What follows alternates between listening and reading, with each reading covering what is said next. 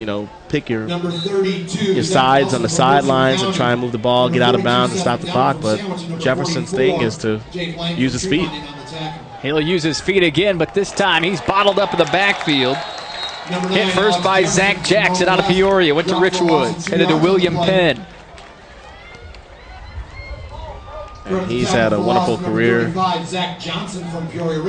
Richwoods, Roland Brown's team. Another good year making the postseason.